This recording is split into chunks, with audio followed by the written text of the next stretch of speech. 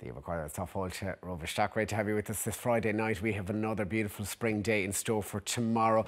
But Claudia, a couple of showers through parts of the west. More details in a moment's time. But first up, we're hanging on to those beautiful blue skies. Take a look at this. Valencia Island down in County Kerry. From there, you can explore Skellig Hill.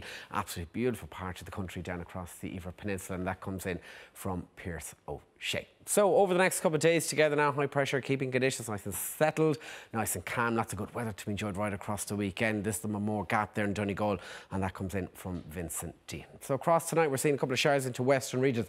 They'll track eastwards across the country, just about holding dry there for Leinster, much of Munster.